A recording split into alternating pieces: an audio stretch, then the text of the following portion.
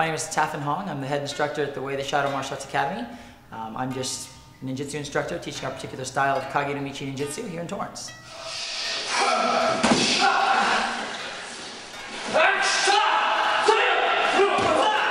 I started doing martial arts at age eight um, under Benny the Jet Urquidez. He was a family friend of mine. So my mom kind of got me in that martial arts studio when I was really, really young. And I was there for a few years until my family kind of sort of fell apart. So I was out of martial arts for a while.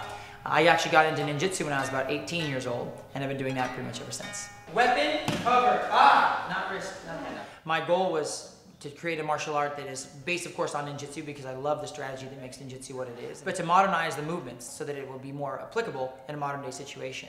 Now we're not using swords, we're using knives and guns, so our body movement has to change and adapt for those different kind of weapons, for example.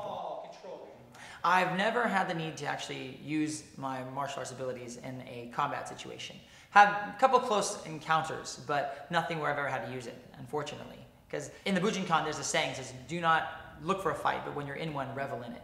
Because it's not something you want to look for, certainly. And myself, my personality is not the type that I put myself in those situations. I don't go to bars, I don't drink, I don't go to clubs. But for me as an instructor, it helps me in a lot of ways when it comes to dealing with outside situations, like having to be disciplined with my child, for example. So it's those life skills that kind of have a tremendous impact on your outdoor life when it comes to being outside the studio.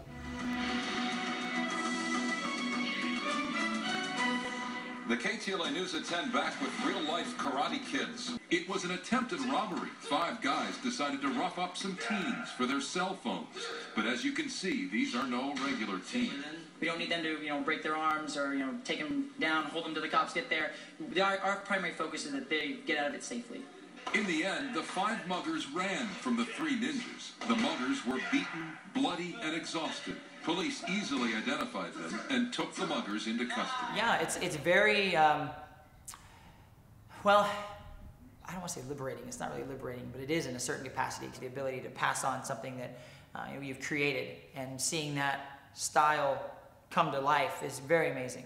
That's like the biggest obstacle. There's so many things that get in your way of that. Students always leaving because of their life changing and things like that is always a complication. Just the business in general, having to have a facility and things like that, making that happen is a complication. But so far, we're, we're doing okay and overcome those obstacles. You know what? Shasta, my wife, practiced for a while. Um, before I was a black belt, when I went uh, to the Duke Street School, she actually trained with me there for a couple years.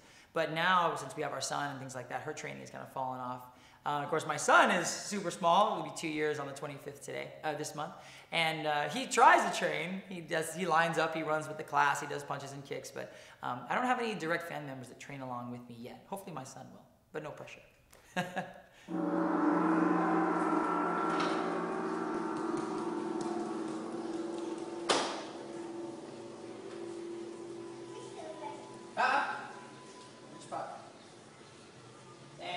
And he's up.